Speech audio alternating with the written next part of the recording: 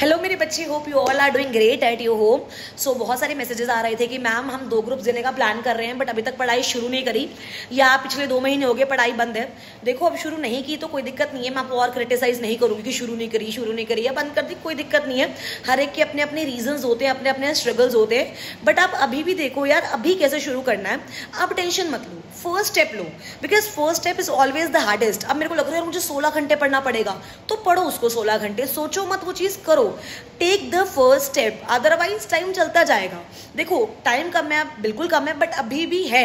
अब के बाद नहीं होगा। अगर आप सोचो कि आप मिड अगस्त में शुरू करो तब तक टाइम नहीं होगा बट अभी भी जान लगा दोगे तो है टाइम सोलह घंटा पढ़ लोगे तो है time so first of all go for classes revision पे डिपेंड मत रहो।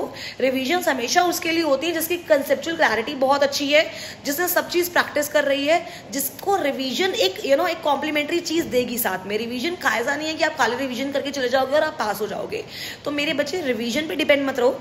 क्लासेस करो and go for recording classes क्यों? बिकॉज़ उसको आप अपने पेस पे ले सकते हो।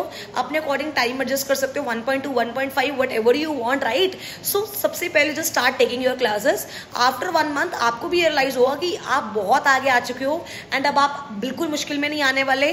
So just take the first step start doing your classes that's it all the very best